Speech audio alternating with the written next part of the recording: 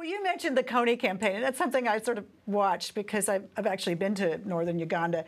And it was interesting to see how that morphed from a viral video to a crisis management campaign. Mm -hmm. And another great campaign that really struck me as intriguing was the Planned Parenthood. Susan G. Komen uh, campaign. And I think that was a tipping point because for the first time, you saw both sides of that controversy going first to YouTube before they were even interviewed by any major network.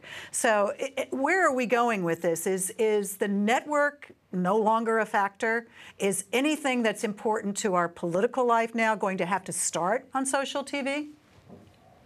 How about you, Mike? Take that yeah, one on. When you say network, are you talking about television networks like ABC yeah, NBC? the broadcast, the traditional yeah, media. Look, there still needs to be an entity of some sort to be able to distribute content that is reaching mass audiences that will attract advertisers that are helping to fund that content in the first place, right? So what that looks like in 10 years, 20 years from now, who knows? But what I will say is that Americans are watching more television than ever before. And we are watching, uh, on average, 35 hours of TV per week, believe it or not. Uh, and live TV viewing, so in terms of watching live events, the, the live events are getting some of the best TV ratings that they've ever gotten.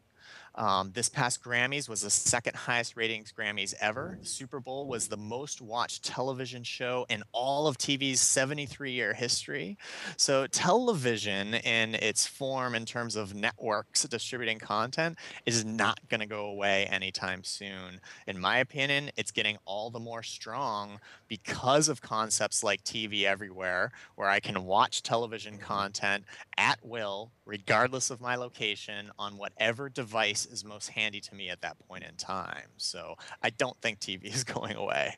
Yeah, that, that Yahoo product is totally cool. Uh, you mentioned that, I think, in your book, and it's just amazing how effective that is. So, uh, I mean, it's sort of, sort of a great example also of the possibilities for integration. So.